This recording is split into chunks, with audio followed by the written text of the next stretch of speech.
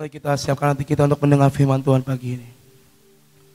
Tuhan kau yang mengajar setiap kami dan kau Tuhan yang selalu memberikan rema dalam hidup kami.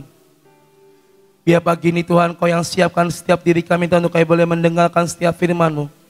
Kami percaya Bapa setiap firman yang ditabur Tuhan di tanah yang tepat kami percaya maka firman itu akan berbuah dalam hidup setiap kami Tuhan. Mari Bapa pagi ini Tuhan kami mau mendengar, kami mau menerima, kami mau mengerti apa yang menjadi rencanamu atas hidup setiap kami.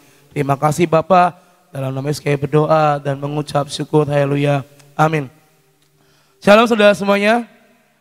Sangat luar biasa pagi ini. Amin. Kita dalam keadaan yang sehat, dalam keadaan yang prima, kita masih bisa berkumpul. Saya percaya ini semua karena rencana Tuhan dalam hidup kita. Amin. Dan pagi ini Bapak Ibu Saudara kita akan belajar uh, tentang yang namanya forgiveness. Saudara. Memaafkan. Karena saya percaya ketika Tuhan sudah rela mati, dia menebus kita, itu tandanya dia memaafkan kita, saudara. Kan kita sering dengar bahwa Tuhan mati untuk menebus dosa manusia. Kalau mungkin posisinya dibalik, mungkin saya yang ada di posisi itu mungkin mungkin ya saya akan berpikir kan saya nggak kenal semua orang yang saya maafkan dengan pengorbanan saya di atas kayu salib. Kan saya nggak mengenal satu demi satu darah yang harus saya tebus untuk saya bisa memaafkan dan akhirnya mereka menjadi putih kembali. Tetapi Tuhan Yesus mengajarkan bahwa Tuhan telah memaafkan dan mengampuni setiap kita. Saudara. Dengan apa? Dengan penebusannya di atas kayu salib. Tuhan mengajarkan tentang kasih, Tuhan mengajarkan tentang love. Itulah yang Tuhan inginkan ada dalam hidup setiap kita. Dan forgiveness, sebuah kalimat yang mungkin bisa kita ucapkan, tetapi mungkin sukar untuk dilakukan. Mungkin kita pernah sakit hati sama pemimpin, kita pernah sakit hati dengan teman kita, mungkin dengan keluarga kita. Tetapi Tuhan mengajarkan sekali lagi tentang kasih. Dan Tuhan terlebih dahulu telah memaafkan setiap kesalahan kita. Kita buka dari 1 Petrus 4 Bapak Ibu Saudara, ayat yang ke-8. 1 Petrus ayat 4, 1 Petrus 4, ayat yang ke-8. Dikatakan tetapi yang terutama kasihilah sungguh-sungguh seorang akan yang lain sebab kasih menutupi banyak sekali dosa. Saya ulang sekali lagi tetapi tetapi yang terutama kasihilah sungguh-sungguh seorang akan yang lain sebab kasih menutupi banyak sekali dosa. Kita dilahirkan untuk membenci atau untuk mengasihi saudara. Kita dilahirkan datang ke dunia untuk membenci orang atau mengasihi orang? Mengasihi orang. Kita punya destiny untuk mengasihi orang. Kita punya tugas untuk mengasihi orang karena kita dilahirkan bukan untuk membenci seseorang. Tuhan pun meskipun dia tidak mengenal kita di masa itu dan kita emang belum lahir dan mungkin orang-orang pada zaman itu Tuhan nggak kenal semuanya, tetapi dia mau rela menebus kesalahan mereka. Itu kasih. Dan dikatakan kasih menutupi banyak dosa. Ketika kita mungkin memaafkan seseorang, mungkin hati kita sakit Bapak Ibu Saudara. Tetapi ketika kasih itu masuk, kita baca firman, kita renungkan firman, dan ada kasih itu mulai mengalir masuk. Maka itu akan mengubahkan setiap kepahitan kita, sakit hati kita dari yang tadinya mungkin kita, ah saya benci sama orang itu dan saya nggak mau maafin. Dia udah nipu saya, mungkin dalam pekerjaan, dalam usaha dia sudah menipu saya ber-MM mungkin. Saya nggak mau maafkan. Ngapain? Anak Tuhan kok seperti itu. Sering dengar ya kalimat itu ya. Anak Tuhan kok seperti itu. Ngapain dimaafin? Ngapain diampuni? Saudara, ketika mungkin dalam daging kita merasakan akan hal itu. Kita dikecewakan, kita mungkin ngerasain, ngerasani yang namanya sakit hati. Dan ada dalam pikiran kita, kita nggak mau memaafkan. Tanpa sadar kita sedang menutup portal kasih Tuhan dalam hidup kita. Jadi dikatakan kan sebab kasih menutupi banyak sekali dosa. Apa yang harus dilakukan? Kasihilah sungguh-sungguh seorang akan yang lain. Ketika kita bisa memaafkan, mengampuni, maka kasih Tuhan itu akan turun. Ya kan, mengubah segalanya. Kalau mungkin boleh saya um, definisikan ketika kita memaafkan, berarti kita sedang melepaskan ego kita, saudara. Ego yang tadinya nggak mau mengampuni, nggak mau maafin, meskipun sama-sama pelayan Tuhan mungkin. Tetapi ketika kita belajar akan firman ini, 1 Korintus ayat 8, maka kita sedang melepaskan ego kita, emosi kita. Kita sedang melepaskan yang namanya keinginan untuk balas dendam. Kadang ada ya orang-orang yang ketika dia disakitin, punya pikiran, ah gue mau sakitin balik. Ya kan? Ketika gue dari ketika saya udah dikecewain, saya mau kecewain balik. Ada orang-orang yang seperti itu. Lalu ketika kita mau melepaskan, kita belajar akan firman ini, dan kita mau belajar untuk memaafkan, maka kita sedang melepaskan kepahitan dalam hidup kita. Banyak orang-orang yang pahit, banyak orang-orang yang sakit hati, dan saya pun sering jumpai dalam lingkungan saya di anak-anak muda, banyak kan sakit hati sama saya, banyak yang kecewa sama saya. Tapi saya belajar untuk mengasihi mereka. Mungkin saya yang mungkin terlalu cuek, saya yang mungkin tidak bisa satu demi satu mengayomi, tapi saya belajar untuk berubah. Saya coba mendatangi mereka dan saya minta maaf. Sorry ya kalau koko mungkin selama ini tidak memperhatikan. Atau mungkin saya kadang agak cuek sama kamu. Tapi saya tahu ketika seseorang lahir, itu perlu yang namanya kasih. Kasih dari Tuhan dan kasih dari sesama. Itu yang perlu kita pelajari pagi hari ini ketika kita mengasihi seorang akan yang lain, maka kasih Tuhan akan menutupi setiap kepahitan, setiap kekecewaan, setiap keinginan untuk balas dendam atau apa pun itu. Yang notabene kita nggak bisa mengampuni orang lain. Tetapi kasih Tuhan akan membalut semuanya itu. Kisah anak bungsu kita sudah dengar ya. Bapaknya masih hidup, minta warisan, ya kan menghabiskan semua harta. Mungkin kalau saya jadi bapaknya waktu itu, ini anak kok kurang ajar ya. Maksudnya saya masih hidup sehat, minta warisan, minta minta harta, minta bagiannya. Tetapi yang namanya seorang bapak punya kasih. Mau anaknya nakal, bandel, tetap punya kasih. Dan akhirnya apa diberikan. Dan ketika hartanya habis, si bungsu datang lagi, bapaknya dengan tangan terbuka, welcome back. Selamat datang kembali nak itu kasih. Bapak punya kasih untuk anak-anaknya. Mungkin yang udah jadi ayah, mungkin Amos saya udah punya baby, ya dia akan dengan segala macam cara bisa melindungi anaknya. Benar kan Mas? Menyayangi dan mengasihi. Bagaimana Bapak kita yang ada di surga Bapak Ibu Saudara.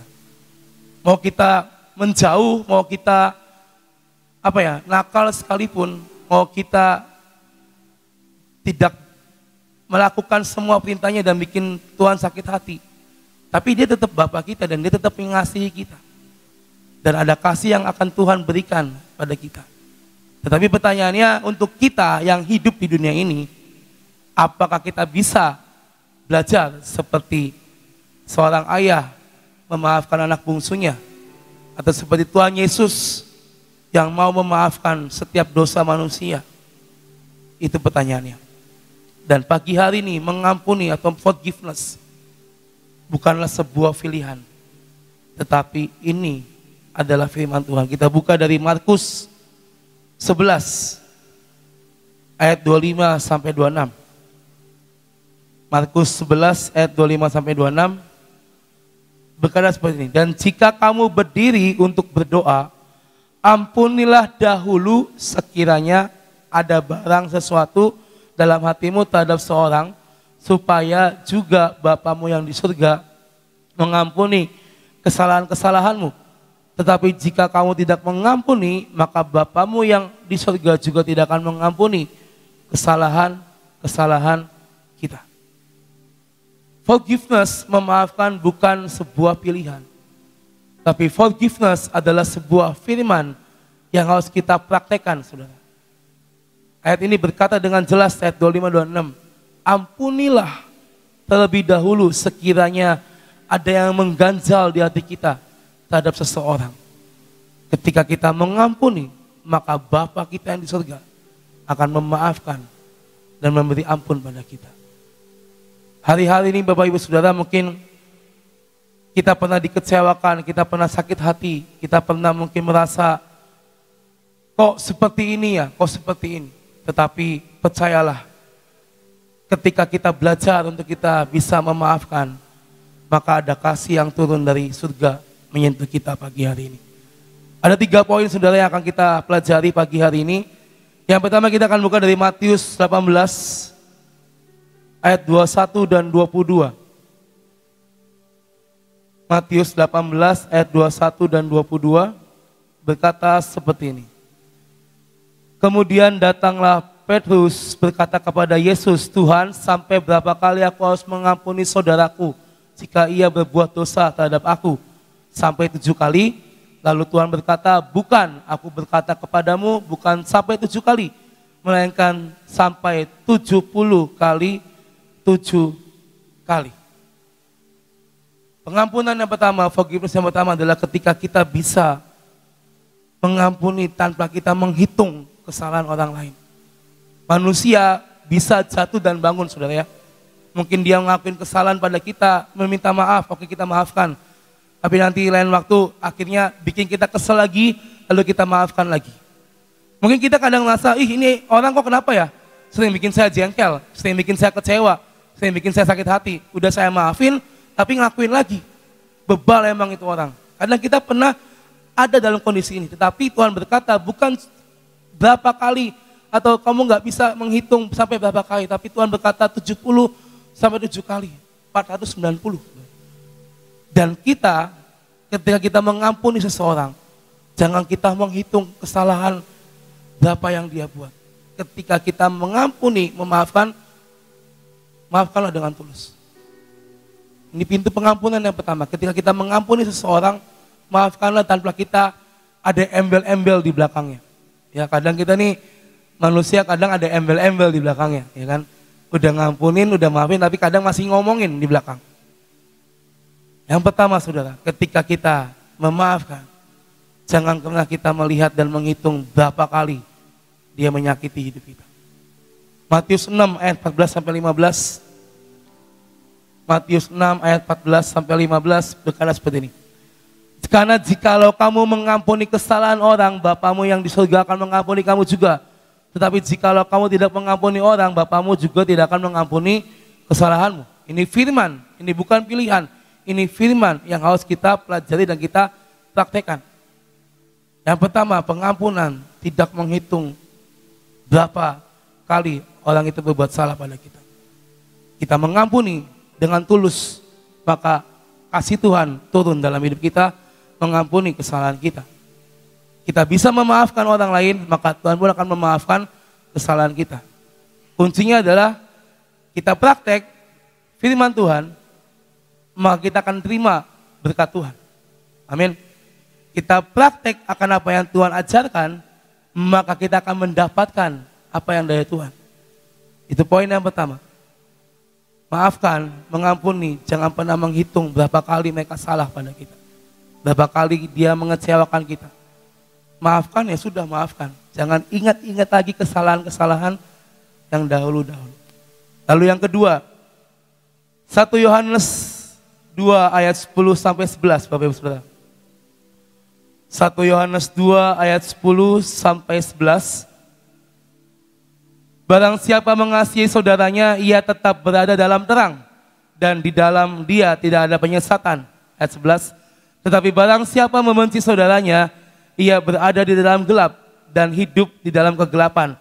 Ia tidak tahu ke mana ia pergi karena kegelapan itu telah membutakan matanya. Ini firman yang sangat bagus, coba ayat 10. Ketika kita mengampuni, mengasihi, maka kita hidup di dalam terang. Poin yang kedua adalah forgiveness akan menyingkirkan kegelapan dalam hidup kita. Kebencian, kepahitan itu membuat kita jadi buta, saudara. Kita diajarkan tentang buah-buah roh, tentang hukum kasih. Tapi karena ada kebencian, kepahitan, itu buat kita jadi buta, saudara. Kita diajarkan tentang kasih, praktekanlah kasih. Kita diajarkan tentang buah-buah roh, praktekanlah itu. Tetapi karena kebencian, karena sakit hati itu membutakan kita. Sehingga kita nggak bisa maafin. Dan kalau kita nggak bisa maafin, ayat 11, maka kita akan ada di dalam kegelapan. Sampai nanti mungkin ya kita, mungkin sampai Tuhan datang kita nggak bisa maafin. Itu ada benci terus dalam hidup kita. Benci sama si A, si B, si C. Tapi belajarlah Bapak Ibu Saudara untuk mengampuni, untuk memaafkan karena forgiveness akan menyingkirkan setiap kegelapan di hidup kita. Yaitu apa? Kebencian, sakit hati, amarah. Itu akan Tuhan singkirkan. Kita akan hidup di dalam terang. Amin. Lalu yang terakhir dari Markus 11 saudara. Markus 11 ayat 23 sampai 26.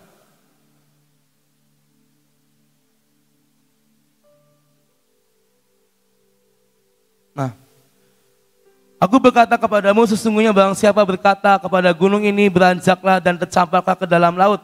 Asal tidak bimbang hatinya tetapi percaya bahwa apa yang dikatakannya itu akan terjadi. Maka hal itu akan terjadi baginya. Karena itu aku berkata kepadamu apa saja yang kamu minta dan doakan percayalah bahwa kamu telah menerimanya maka hal itu akan diberikan kepadamu. Ya, 24 saudara. Dikatakan ketika kita berdoa dan kita meminta apa saja maka percayalah kita akan menerimanya dan hal itu akan diberikan kepada kita. Ketika kita mau alami yang namanya belajar untuk forgiveness, maka Tuhan akan buka pintu-pintu dalam hidup kita, saudara. Karena kita diajarkan untuk bisa memaafkan dan kasih itu turun. Berkat itu turun, maka pintu akan terbuka bagi kita. Poin yang ketiga, forgiveness akan membuka setiap pintu-pintu yang tertutup menjadi pintu mukjizat dalam hidup kita. Kita mau ngalami yang namanya breakthrough, kita mungkin berdoa Tuhan saya minta berdoa untuk doa-doaku dijawab, aku lagi ada masalah, bla bla bla bla bla. Tetapi kalau kita masih terkungkung dalam kegelapan itu, kita nggak bisa mempraktekkan kasih, kita nggak bisa mempraktekkan firman. Maka selamanya kita ini ada di dalam kegelapan. Dan untuk pintu ini terbuka, untuk setiap pintu kita terbuka, maka praktekan forgiveness, praktekan untuk kita bisa memaafkan dan mengampuni. Doa Bapak kami adalah doa yang diajarkan dari kita kecil benar. Dari zaman TK mungkin sampai besar gini. Itu adalah doa pertama yang saya pelajari, doa Bapak kami. Dan dikatakan ampunilah kesalahan orang lain seperti kami juga mengampuni orang yang bersalah kepada kami. Dalam doa itu ada kata mengampunilah orang yang bersalah kepada kami. Seperti kami juga mengampuni orang yang bersalah. Ampunilah kesalahan kami seperti kami mengampuni orang yang bersalah pada kami. Dalam doa Bapak kami diajarkan tentang hal memaafkan. Dan itu sudah mendarat lagi dalam hidup kita. Dan ayo, mari hari ini Siapa pun yang bikin kita kecewa atau siapa pun yang bikin kita sakit hati, mari bawa itu di hadapan Tuhan saat-saat ini. Karena kita akan melejit dengan cepat tahun ini, amin. Tapi untuk melejit kita perlu melepaskan semua yang berat-berat di punggung kita ini untuk kita bisa berlari dengan cepat Bapak Ibu Saudara. Kalau ada kekecewaan, ada mungkin kita merasa disakit hatiin, mari pagi ini praktekan itu, lepaskan itu. Supaya apa? Supaya kita bisa ngalamin hal yang ketiga. Pintu mukjizat terbuka bagi hidup kita. Dan saya percaya kita diajarkan tentang kasih, diajarkan firman Tuhan, mari praktekkan itu. Forgiveness akan membuat kita hidup di dalam terang. Forgiveness akan membuat kita mengalami semua pintu mukjizat bersama dengan Tuhan. Dan saya percaya hari-hari ini kita sama-sama belajar melepaskan pengampunan, melepaskan forgiveness buat siapa pun yang mungkin bersalah kepada kita. Kita pelajari ini, kita praktekkan kasih Tuhan keluar dari hidup kita. Amin. Terima kasih dan Tuhan berkati kita semua. Saudara, suatu pengampunan itu tidak semudah kata-kata ya. Kita bisalah berbicara tapi untuk melakukan itu perlu perjuangan ya. Perlu yang dinamakan suatu penyangkalan diri ya. Kemarin ada seseorang ibu yang konseling dengan saya. Dia mengata, dia mengatakan dia itu lagi sakit kena kanker. Nah, minta didoain. Nah, saat saya sedang berdoa untuk dia, Tuhan ngomong dia punya sakit hati. Nah, saudara tahu akibat daripada dia tidak bisa mengampuni, itu dia akhirnya kena kanker.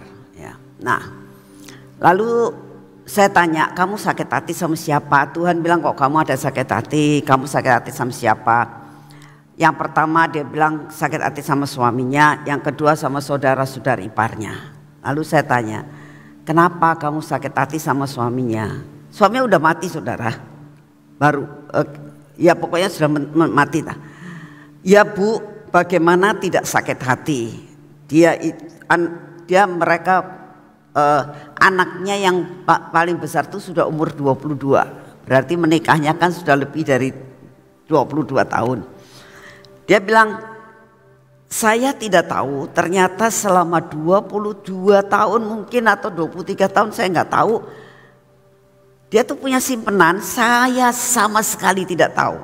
Kalau dia punya simpenan, tahu-tahu pada saat suaminya meninggal, ya, itu ada yang datang. Seorang satu anak yang sekitar umur sama dengan anaknya dan ibu-ibu. Dan ternyata itu istrinya simpenannya. Dia bilang gimana bu? Saya nggak sakit hati. Dia bilang gitu. Gimana? Saya kaget setengah mati. Saya nggak pernah menyangka saya dikhianati sampai seperti itu. Dia bilang. Sekarang kamu bisa masih bisa mengampuni? Nggak bisa dia terus terang nggak bisa nggak bisa mengampuni. Saya bilang, kamu mau nggak untuk kampuni? Saya bilang, sebab kalau tidak firman Tuhan katakan tadi bom-bom sudah bacain, kalau engkau tidak mengampuni, engkau tidak diampuni juga. Otomatis uh, gak bisa masuk surga, saya bilang. Terus dia tanya, Bu kalau suami saya bisa masuk surga enggak? Itu urusan Tuhan saya bilang. Ya mungkin dia enggak bisa masuk surga ya Bu. Saya tidak mengatakan begitu. Itu urusan Tuhan dengan suamimu. Tahu saya juga enggak kenal suami kamu saya bilang. Sekarang jangan pikirkan akan suami kamu, tapi pikirkan dirimu sendiri. Karena suamimu sudah selesai. Sudah enggak bisa untuk kamu marahin juga nggak bisa. Kamu mau sakit hati dia yang sudah mati, ngapain? Sekarang kamu yang harus membereskan diri di hadapan Tuhan. Lalu dia nangis. Setelah nangis saya bilang, yang penting kamu mau nggak untuk mengampuni. Mungkin kamu nggak bisa, tapi Roh Kudus akan membuat engkau bisa mengampuni. Akhirnya dia mau didoain. Selesai dari semua dia bilang, Ya Bu, masih ada sedikit. Ya saya tahu itu tidak sekedar mudah kata-kata ya. Kalau saya tahu persis firman Tuhan, saya tetap mengampuni. Tapi tiba-tiba timbul lagi Bu peristiwa itu. Timbul lagi Bu peristiwa itu sehingga saya sakit lagi. Saya katakan itu perlu yang dinamakan kamu setiap kali itu muncul ya sakit hati itu muncul lalu kamu dibayangi sama kuasa kegelapan sama iblis untuk mengatakan tuh suamimu begini kamu katakan saya bilang bahwa saya sudah mengampuni Tahu dia sudah meninggal, saya mengampuni Tuhan cabut semua duri-duri dalam hidupku. Tak suruh ngomong gitu setiap kali. Ya, setiap kali lepaskan pengampunan dan kamu katakan cabut Tuhan semua luka-luka dalam hati kita. Jadi ini praktek yang harus dilakukan. Jikalau siapa pun juga yang ada di tempat ini, siapa yang streaming mendengar akan perkara ini, cara bisa untuk mengampuni, minta dicabut semua duri-duri, semua panah-panah berapi yang menancap dalam diri kita, minta dicabut oleh Tuhan dan katakan Tuhan, aku menyerahkan hidup saya kepadamu, aku rela memberikan pengampunan. Saya percaya Roh Kudus akan menolong kita sehingga kita bisa untuk mengampuni. Mari kita berdoa. Bapak kami tahu kalau hari ini engkau memberitahukan kepada kami tentang pengampunan. Kami tidak tahu Tuhan apa yang terjadi dalam hidup kami, apa yang siapa pun juga yang menyakitkan hati kami atau kami juga menyakitkan hati orang lain. Tuhan kami melepaskan pengampunan. Biarlah engkau mencabut semua dalam nama Tuhan Yesus. Semua duri-duri atau panah-panah berapi yang ditujukan kepada kami, maka kami akan percaya dan pasti percaya penuh kepadamu. Roh Kudus akan menolong kami terlepas dari segala masalah kami. Terima kasih Tuhan untuk kasih setiamu, terima kasih untuk berkatmu, terima kasih untuk PW pada pagi hari ini. Terima kasih Tuhan. Terima kasih kalau kami sudah berdoa dengan pujian untuk berdoa buat pulau-pulau, berdoa untuk semuanya. Dan saat ini kami datang di hadapanmu Tuhan. Kami mau berdoa untuk segala musibah-musibah yang terjadi saat-saat ini Tuhan. Baik tanah longsor, baik banjir badang. Kami minta di dalam namamu ya Tuhan. Engkau sendiri akan tetap memegang kendali terhadap cuaca yang ada di Indonesia saat ini. Bapak kami berdoa saat ini juga biarlah semua bencana-bencana alam Engkau yang memegang kendali atas semua dan semuanya ini. Bapak kami juga berdoa untuk pandemi yang ada Engkau ubahkan Tuhan menjadi sesuatu hal yang tidak menjadi pandemi lagi melainkan epidemi dan lama kelamaan akan habis hilang semuanya. Bapak saat ini kami datang di hadapanmu. Setiap hari Tuhan kami minta kepadamu suatu daya tahan tubuh yang dari surga. Daya tahan tubuh yang tidak diberikan oleh dunia. Engkau berikan daya tahan tubuh dari seluruh sel-sel yang ada dalam tubuh kami. Engkau aktifkan Tuhan sehingga membentuk daya tahan tubuh dalam hidup kami. Sehingga ada selubung dalam hidup kami sehingga apa pun yang kami hadapi itu tidak akan mengena dalam hidup kami. Terima kasih Tuhan kami sangat percaya apa yang kau berikan itulah yang abadi. Terima kasih untuk kasih setiamu. Kami berdoa Tuhan saat ini untuk anak-anakmu yang sudah berangkat ke Bali kami minta anugerahmu. Engkau memberkati Tuhan semua lancar perjalanan sampai tidak ketinggalan pesawat dan semuanya berjalan dengan baik sampai di Bali dan dapat melayani engkau raja di atas segala raja. Tidak ada kuasa kegelapan yang berani menghalangi semua rencana Tuhan atas Bali. Terima kasih untuk kasih setiamu. Kami menyerahkan hari ini ke dalam tanganmu ya Tuhan. Engkau Bapa yang sungguh amat sangat baik.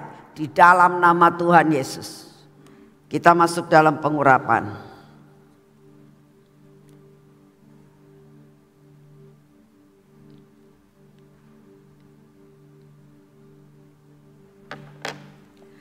Bapak, kami butuh pengurapan yang daripadamu. Biarlah pengurapan ini turun atas hidup kami, atas mata kami, atas, atas telinga kami, atas bibir mulut kami, dan atas hati kami Tuhan. Biarlah kami ada di dalam selubung yang daripadamu. Selubung pengurapan yang daripadamu. Biarlah semua yang tidak baik keluar daripada hidup kami. Dalam nama Tuhan Yesus berkati tangan kami yang kami urapi ini Tuhan. Supaya apa yang kami kerjakan bersama engkau hari ini. Semuanya tidak ada yang gagal. Dalam nama Tuhan Yesus pimpin kaki kami ya Tuhan berjalan dalam jalan yang sudah engkau tentukan hari ini. Terima kasih Bapak, Engkau begitu amat sangat luar biasa. Segala puji, hormat dan syukur kami naikkan di hadapanmu. Di dalam nama Tuhan Yesus, berjalanlah bersama kami hari ini Tuhan. Karena kami tahu tanpa engkau kami tidak bisa berbuat apa-apa. Di dalam engkau kami akan berbuah banyak. Dalam nama Tuhan Yesus. Amin. Selamat pagi Tuhan memberkati saudara semuanya.